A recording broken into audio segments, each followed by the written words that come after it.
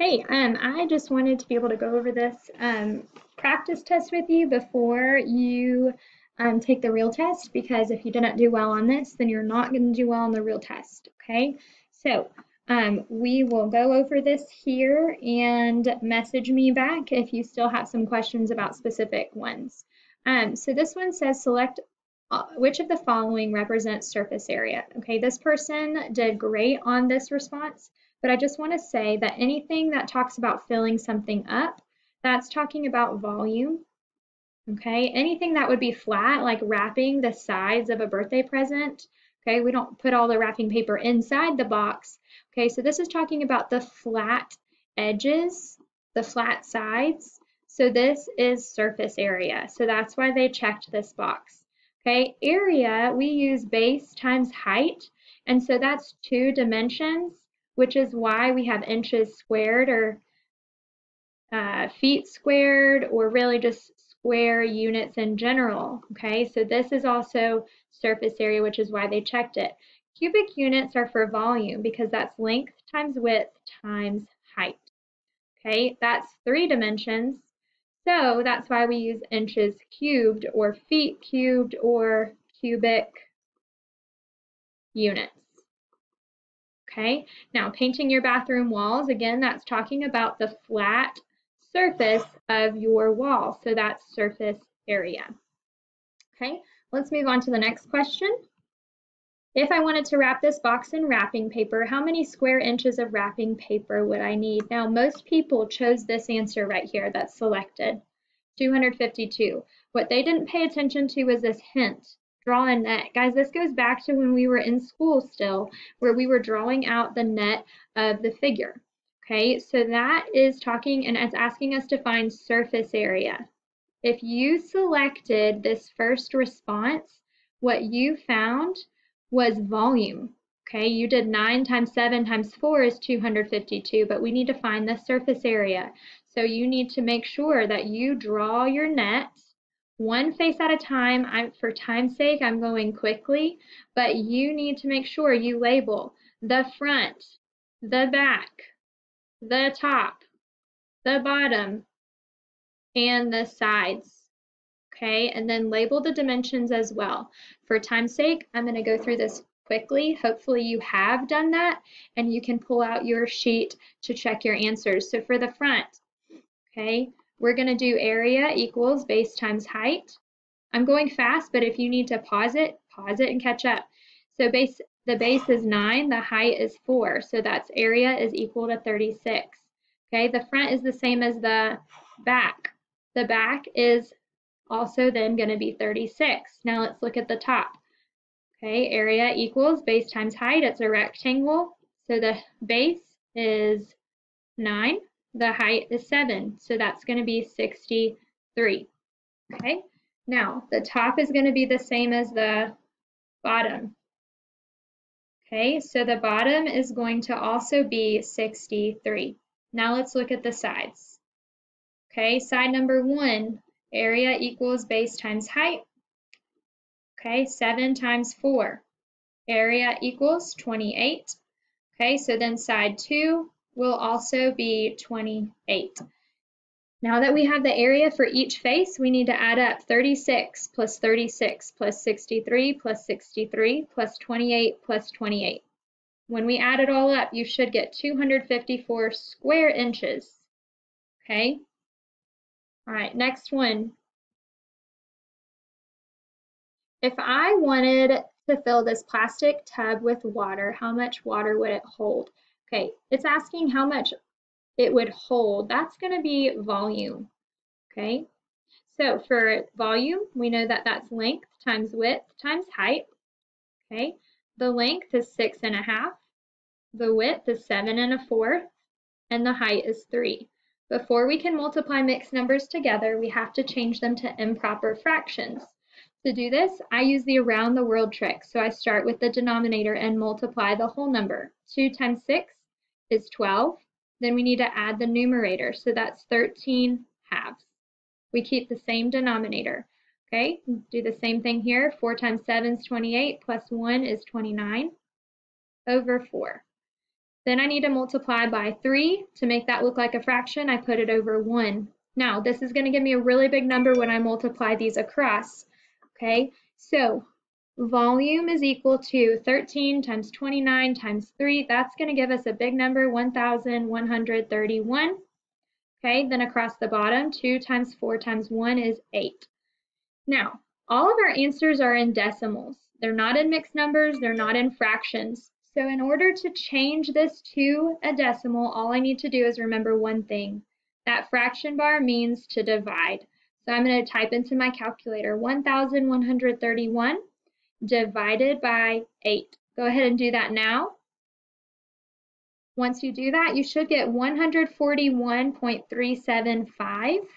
Okay, and because we're talking about volume, we're going to choose the one for cubic inches because we multiplied three dimensions together. Okay, let's look at the next one.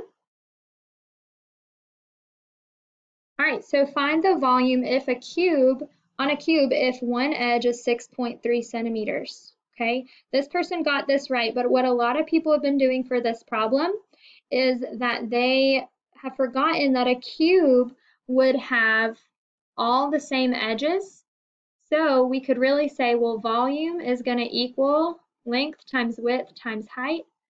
Well, it's going to be 6.3 for each of those. So it's going to be 6.3 times 6.3 times 6.3.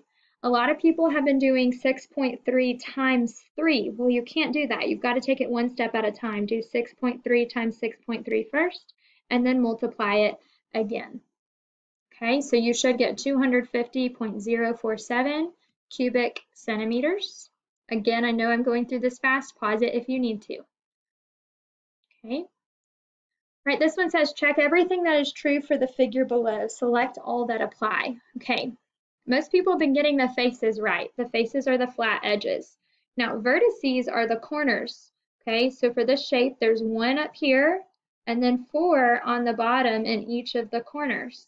So that's five vertices. So this person was correct to not check this one. We don't need to include that. Now edges are the straight lines. So this one has one, two, three, four, and then on the bottom there's five, six, seven, eight. So there are eight edges. So we should have checked this box. Now prisms, let's talk really quickly about the difference between prisms and pyramids. Remember that prisms have two bases. Okay, so for a triangular prism, the bases would both be triangles. So here's a triangle and here's a triangle. Okay, then they would be attached, they're parallel with each other, they would be attached by these straight lines. This is what a prism looks like, and the bases are those parallel sides. So one's back there and one is up here. Now pyramids, they have one base. Okay, so this base down here, this is the one base on this pyramid. And what shape is it? It's a rectangle. So that's why it's a rectangular pyramid. So we shouldn't have checked this one, but we do need to check the rectangular pyramid. All right, on this one, I'm going to just go ahead and tell you if you selected 828 what you probably forgot to do was to divide by 2 for the triangles. Remember that the triangle formula is area equals base times height divided by 2, or sometimes we use the 1 half times base times height. So up here, you should have gotten 234 for this face, 234 for the front, and then 180 in the middle. Okay, but for the triangles, we do the base times the height, so 12 times 10, which is 120. A lot of people left it there and forgot to divide by 2. So make sure you do that and get 60 for both of the triangles. Okay, then once you add up all of these faces, okay, you should get 768. The other mistake students are making is they're choosing the wrong units. Because this is area, and we're only multiplying two dimensions together, base and height, we're going to select the square inches. All right. this one, most people have gotten it after we talked about what vertices were. There's, remember the vertices are the corners, so there's six, okay? Now this one says, find the volume if each cube has an edge length of one fourth of a yard. Okay, so this is one fourth, two fourths. We have to count by fourths. This is one fourth, two fourths. And then how far does it go back? One fourth, two fourths. So our length, width, and height is all two fourths. Now, can two fourths be simplified? Yeah, we can divide both the bottom and the top by two. And so when we do that, we get one half. So volume is equal to one half times one half times one half. Oops, I forgot to do length times width times height first. Okay, so the other problem students have been doing is instead of multiplying, they've been adding. So be careful, let's multiply across the top. 1 times 1 times 1 is 1. Then 2 times 2 is 4. 4 times 2 is 8. Some people accidentally chose 1 6, okay, but it's 1 8. All right, I'm cutting it close on time. Let's see about the next one. Okay, this one, a lot of people just didn't read carefully. Um, they kind of were like, okay, let's count and go. But each one is one half of a meter. So this is one half, two halves, three halves. Okay, this is one half, two half, three halves, four halves, which is the same as two wholes. And then back here we have five halves. So when we multiply that together, length times width times height, okay, is 5 halves times 3 halves times 2, which we can put it over 1 to make it look like a fraction. Okay, then we have 5 times 3 times 2 is 30. 2 times 2 times 1 is 4. So now we have 30 divided by 4. 4 goes into 37 times.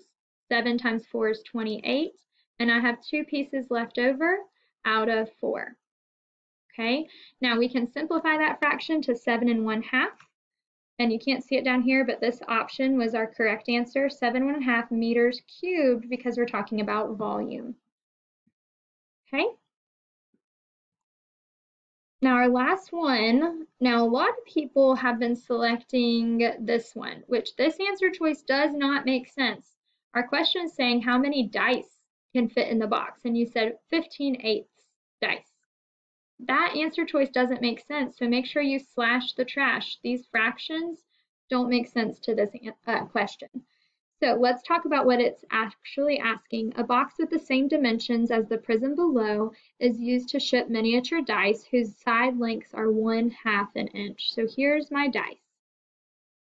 Okay, it's one half by one half by one half. So what we're asking is how many of these dice, okay, can fit into that box.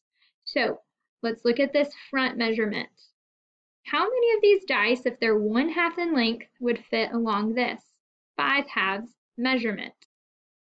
Well, we would have one half, two halves, three halves, four halves, and five halves, so five of them would fit. How many would fit right here? One. And how many would fit tall? We have one half, two halves, three halves. Three of them would fit.